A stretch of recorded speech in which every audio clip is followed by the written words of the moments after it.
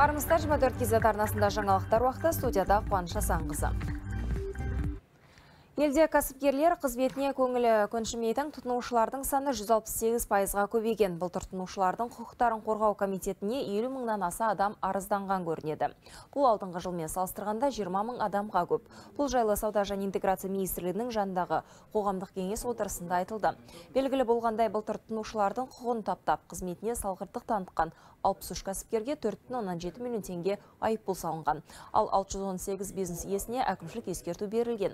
Алдағы уақытта тұтынушылар мүддесін қорғау ісі әлі де күшейтіледі. Ол үшін мәжілісте арнайы заң жобасы да дайындалып жатыр. Заң жобаларында ұсынылған жаңа редакцияда ұсынылған өзгерістер мыналар болып табылады тұтынушылардың құқықтарын қорғаудың қоғамдық институттарының рөлін арттыру оның ішінде осы салада омбудсмен енгізу арқылы адамдардың белгісіз тобын қорғау үшін талап қою мүмкіндігі кәсіпкерлерге жүгінген кезде құқықтары бұзылған және сотқа дейінгі кезінде шешілмеген тұтынушының пайдасына сот айыппұл түрінде салатын кәсіпкердің азаматтық құқықтық жауапкершілігін енгізу. Баланы зорлағандар немесе өлтіргендер өмір бойы бас бостандығынан айырылуы мүмкін. Мәжіліс әйелдердің құқығы мен балалардың қауіпсіздігін қамтамасыз етуге бағытталған заң жобаларын бірінші оқылымда мақұлдады. Зорлық зомбылыққа қатыгездікке немесе адамның ар намысын қорлауға жол бермеу үшін құжатқа бірқатар норма енгізіледі.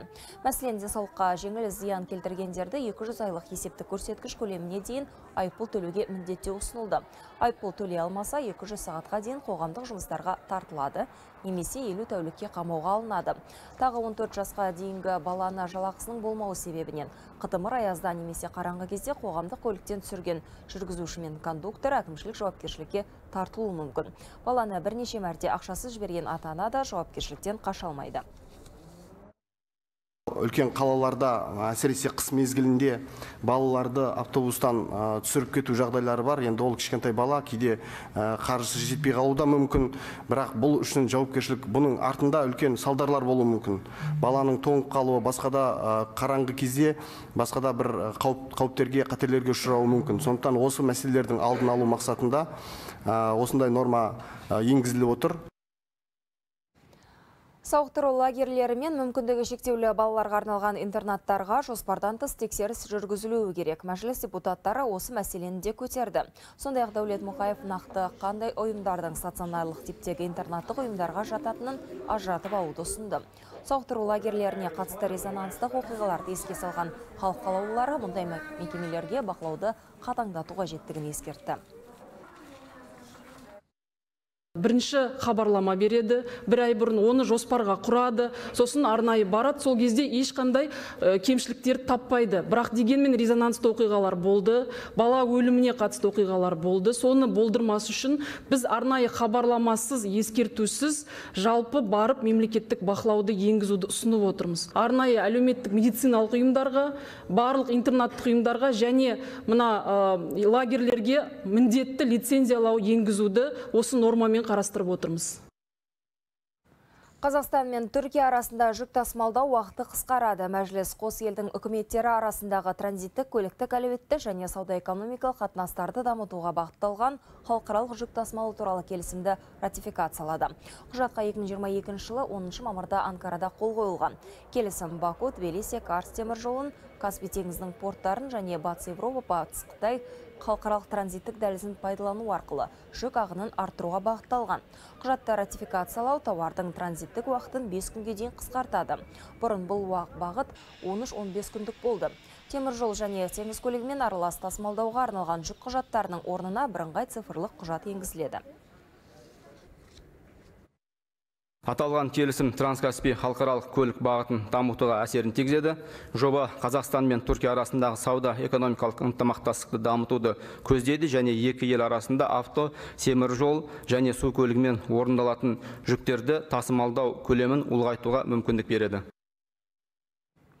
Ақмола облысының Еременті ауданында есірткі тасымалдаған қылмыстық топ ұсталды. Оның құрамында үш шетел азаматы болған. Құқық қорғау органдары оларды жеке үйлердің бірінде қолға түсірді. Тінту кезінде мефедрон және прекурсор психотроптық заттары тәркіленді. Олардың салмағы 30 келіден асады. Қазір осыған қатысты қылмыстық іс қозғалды. Күдіктілер көршілерде күдік тудырмас үшін үйден тек қажет болғанда ғана шығып, үйдің периметрі бойынша ұйымдастырушының Wi-Fi желісіне шығатын бейне бақылау камераларын орнатқан. Сонымен қатар, есірткі әзірлеуге арналған шикізаттар мен дайын өнімді сақтайтын гараж және автокөлік сатып алынған. Бұл мүліктердің барлығы көлеңкелі схемамен төленіп, шетелдік сатып алушының атына тіркелмеген. Ақтөбеде Азия Бақанас жауапкершілігі шектеулі серіктестігінің басшысы сотталды. Қаржы мониторингі агенттігінің мәліметінше Қытай азаматы алдын ала келісе отырып, кәсіпорынды Ақыш Мұратқа қайта тіркеген. Кейін сенімсіз жеткізушілермен жалған мәмілелер жасылау арқылы салық төлеуден жалтарған. Оның көлемі 1,4 миллиард теңгеге жуықтайды. Сот үкіміне сәйкес Ақыш Мұрат 5 жылға бас бостандығынан айырылды. Тергеу барысында анықталғандай ұйымдастырушы Чен Го Цин алдын ала келісе отырып Азия Бақанас жауапкершілігі шектеулі серіктестігін 2014-2020 жылдар аралығында ақыш мұратқа қайта тіркеп, сенімсіз жеткізушілермен жалған мәмілелер жасау арқылы салық төлеуден жалтарған. Сот үкіміне сәйкес Чен Готсен 6 жылға, Ақыш Мұрат 5 жылға бас бостандығынан айырылып, алынбаған салық сомасын бірлесе өтейтін болады. Отандық әскери оқу орындарында мамандықтар саны артып, шетелде кадр даярлау үрдісі қысқарды. Алдағы екі жыл ішінде үш жас ұлан мектебі колледжге айналады. Бұрын колледждерге орта мектеп түлектері ғана қабылданса, енді 9 сынып бітірген жасөспірімдерді де қабылдау мүмкіндігі қарастырылып отыр. Ал әскери институттарға түсу үшін ұбт кемінде 50 бал жинау қажет. Кейін олар төрт кезең бойынша іріктеледі. Сонымен қатар мерзімді әскери қызмет барысында қарағылық танытқан жауынгерлерге білім гранты беріліп жатыр.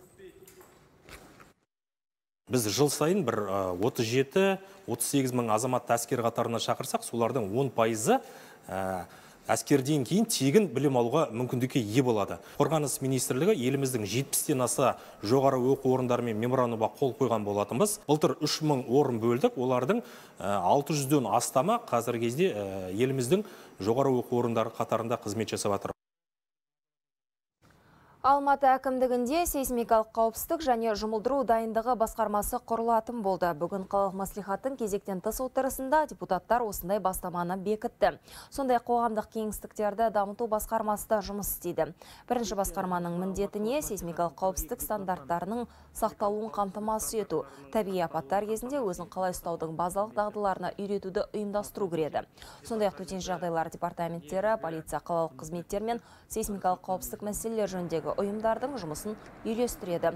Жаңа басқармалар аудандық әкімдіктердің басқа басқамалары мен аппараттарын оңтайландыру есебінен құрылады.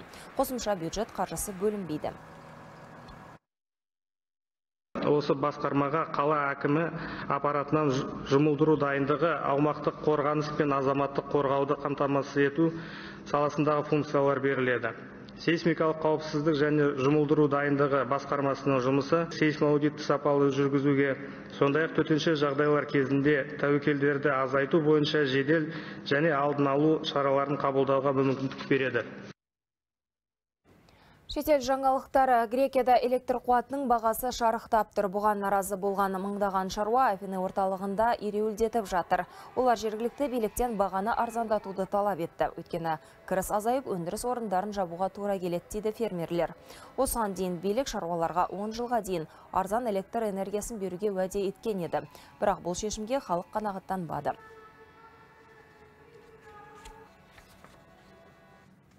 Оңтүстік Кореяда мұғалімдердің жаппай наразылығы жалғасуда акцияға қатысушылар үкіметтен мұғалім мәртебесін көтеруді және оқушылар мен олардың ата-аналарының қысымынан қорғауды талап етіп отыр. Толығырақ тілшіміз Владислав Цойдың бейнематериалында. Сеулде мұғалімдер басты көшелердің бірін жауып тастады. Ұстаздар қауымын оңтүстік Корея бойынша 7 мыңға жуық әріптестер қолдады. Осындай ереуілдер басқа қалаларында да өтті Соңғы төрт айдың ішінде бұл мұғалімдердің осымен 12-ші наразылық акциясы.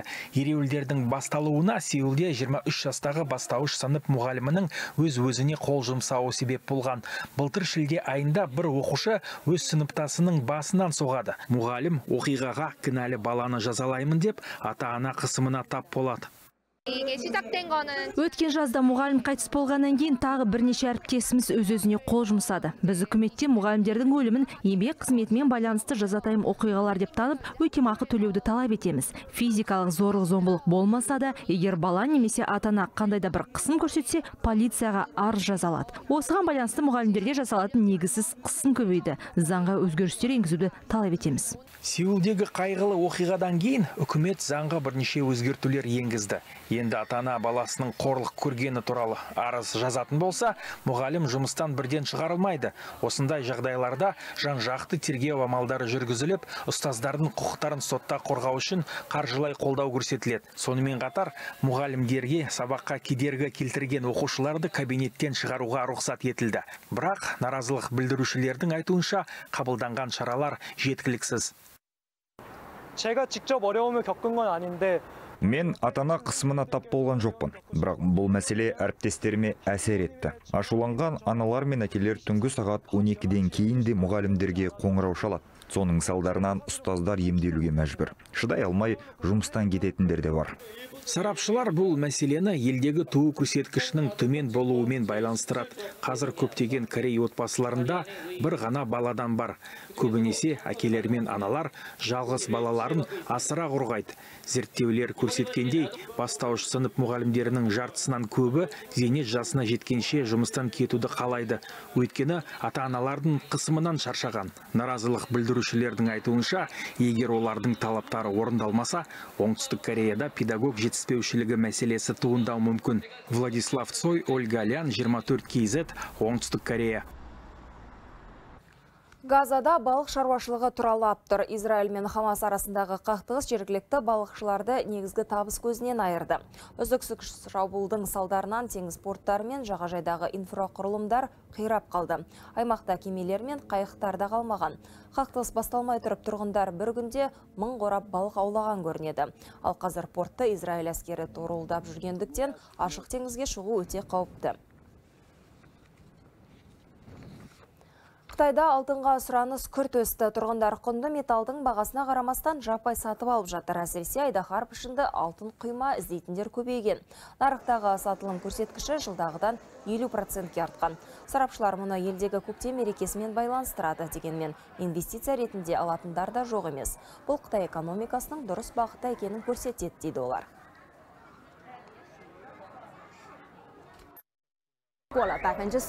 Дүкендерімізге келушілер ерекше көп. Күніне 10 мыңнан астам адам сауда жасайды.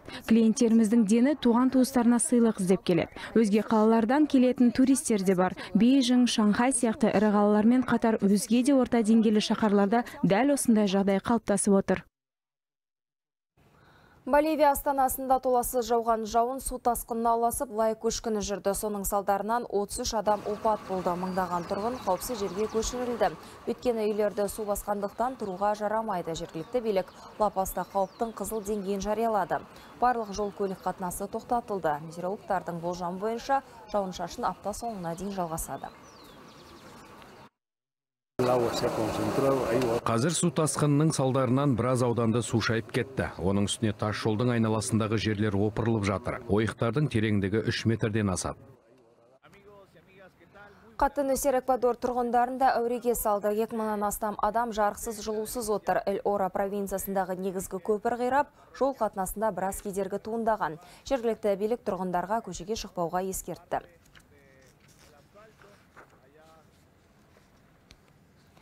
Қытайда ауа райының қолайсыздығынан мыңдаған жолаушы діттеген жеріне жете алмай жатыр. Қоғамдық көліктер қозғалысы кейінге шегерілуде. Салдарынан вокзалдар мен әуежайлар жолаушыларға лық толды. Бұрқасын мен қалың қардан елдің 8 провинциясында қиындықтар туындап отыр. Ресми мәліметтерге сүйенсек, ел аумағында әлі 210 миллионнан астам сапар жоспарланған. Оның басым бөлігі автокөліктермен болса, 13 миллионы пойыз, 2,5 миллиондайы әуе рейстермен қатынауы тиіс. Алайда негізгі автомагистральдар 37 жерден жабылып, жағдай ушыға түсті. Мұндай жағдай елдегі көктем мерекесіне байланысты қалыптасқан. Жергілікті дәстүрге сай жұрт осы күндері жаппай сапарлап туған туыстарын аралайды. ең бастысы қауіпсіздік. Қазір операторлар ауа райын үздіксіз бақылауда ұстап отыр. Мониторинг арнайы жүйемен жүргізіледі. Пойыздарды шетінен жіберіп жатырмыз. Алайда ақ түтек боран мен жауын шашын салдарынан төмен жылдамдықпен жүруге мәжбүр. Бұл көп уақыт ұстайды. Сингапурда Азиядағы ең ірі әуе шоуы Сингапур Air Show өтіп жатыр. Әуедегі қойылымдарға Үндістан, Австралия, Индонезия және Оңтүстік Корея секілді елу елден келген мыңнан астам ұшақ қатысады. Іс шара екі жылда бір рет өтеді. Биылғы шоудың басты ерекшелігі қытайлық жолаушылар ұшағының тұсаукесері өтеді. Бұл танымал америкалық Boeing пен Airbus'тан кейінгі танымал жолаушылар ұшағы болуы мүмкін.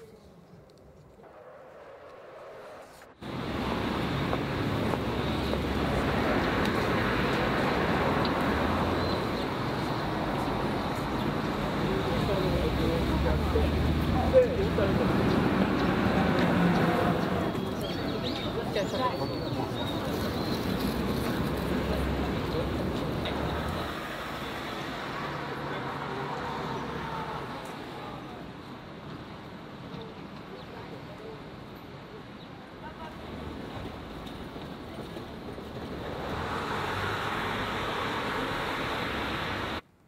Қазақстан мен Нидерланд денсаулық сақтау саласындағы инвестициялық ынтымақтастықты, оның ішінде медициналық мақсаттағы бұйымдар өндірісін оқшаулауды кеңейтеді.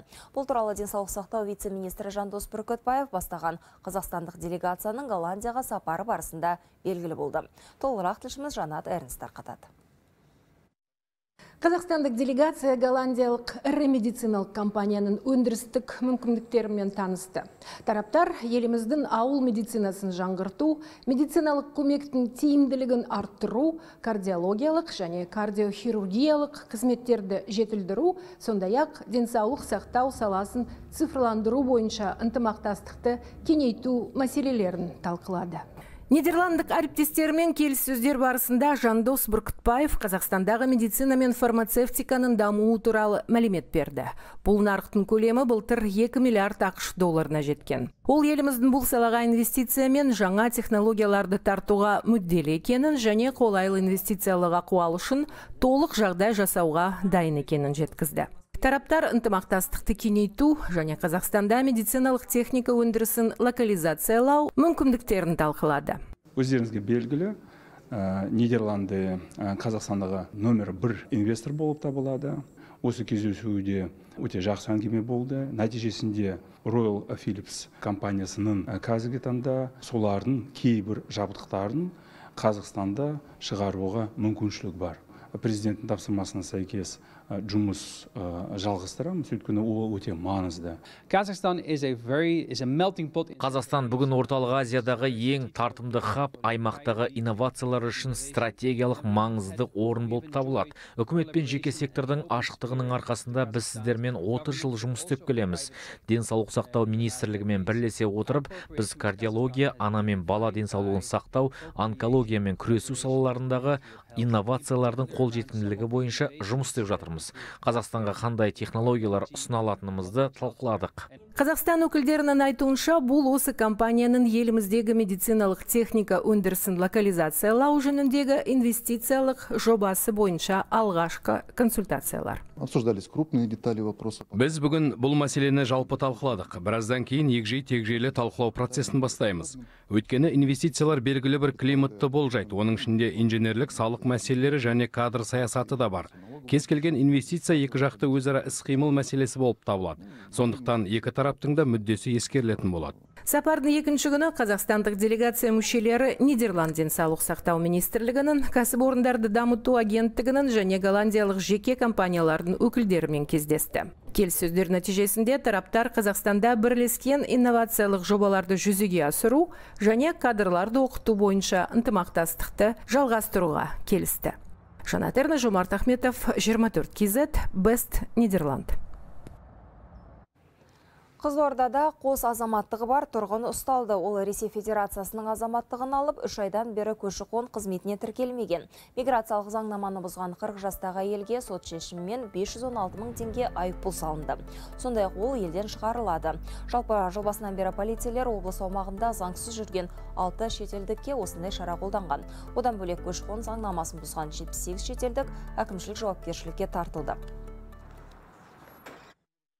Анықталған құқық бұзушылықтар бұл біздің көршілес өзбекстан республикасынан келген шетел азаматтары болып табылады. Қос азаматтықпен жүрген бұл елімізде бұл қолданбайтын норманың бір тетігі болып саналады. Қазақстан республикасының азаматшасы ресей федерациясының азаматтығын алып бізге белгіленген уақыт мерзім ішінде хабарламаған үшін оны сот шешімімен азаматтықтан айыру жұмыстары аяқталды.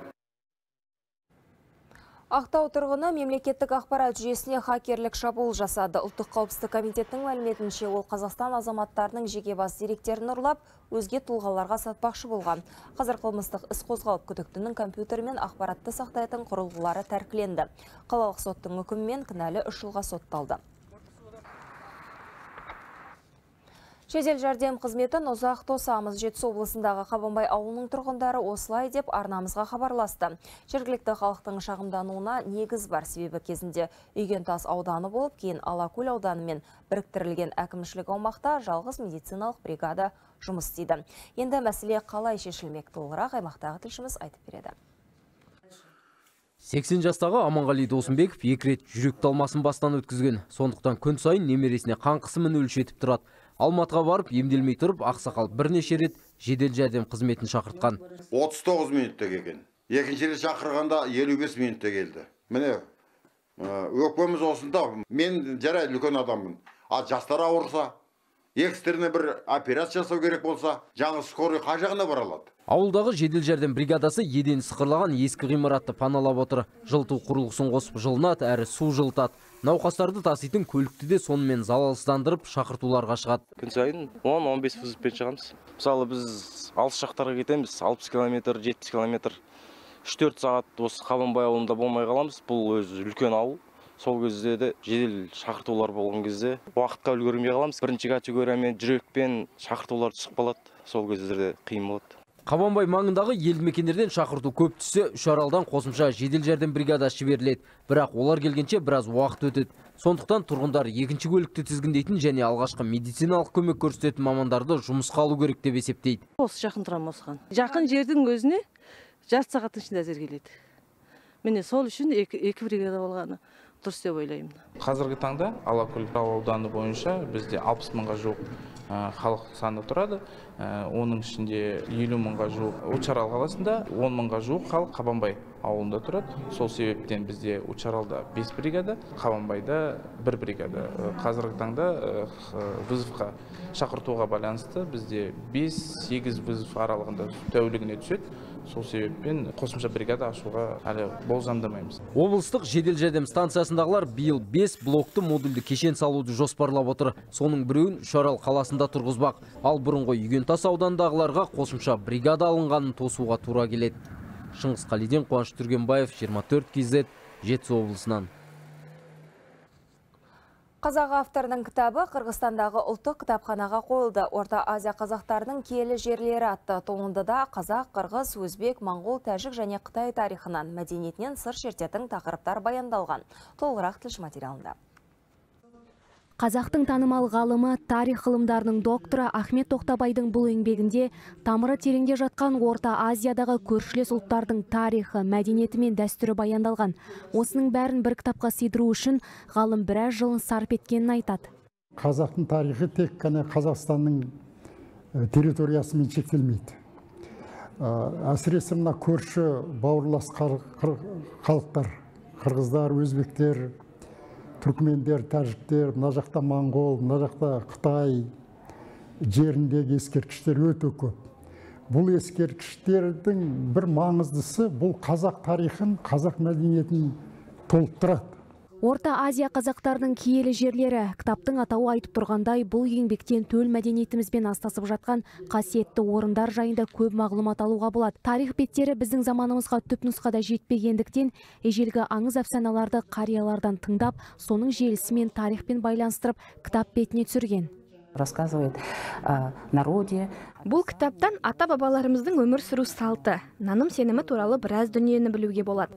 Тарихымызды тануға болады. Қазақ қырғыз бір туған деген сөз де бекер емес. Екі ұлттың ұқсас тұстары көп. Автор өз кітабын Қырғызстандағы Қазақстан елшілігіне сондай-ақ Алыкүл Осмонов атындағы ұлттық кітапханаға сыйға тартты. Тарихи туынды қырғыз жеріндегі Абай орталығына да қойылды. Фариза Жаңғанаева, Бақыт Шермашев, 24 кезет, Қырғызстаннан. Қызылорда облысы Жалағаш ауданындағы тарихи өлкетану музейінде Жамбыл Жабаев ұстаған домбыра 16 жылдан бері сақталып келеді. Жаңағы қарағайдан шабылған қос ішекті аспап қоңыр үнін жоғалтпаған. Қазақ күй өнерінің шеберлері әйгілі ақын пайдаланған аспаптың құдіретіне әлі де тамсанады екен. Жетісулық үлгіде жасалған аспапты ақынның немересі Әлімқұл Жамбылов 1982 жылы ғалым фольклортанушы Мардан Байділдаевқа сыйлаған дейді мұражай мамандары. Содан бері қасиетті қара домбыра жас өнерпаздар мен ізденушілердің қызығушылығын тудырып, бір қатар зерттеу материалдарының тақырыбына арқау болған.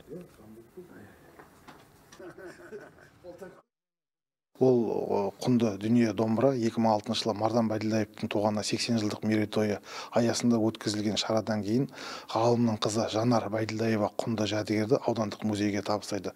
Содан бері қаншама келушілердің қызығушылығын арттыруда жалпы жастардың келіп өзіне насихаттауына өнер адамдарының келуіне үлкен бізге насихат болып жатыр. Ақпараттар легі осындай сау саламатта болыңыздар.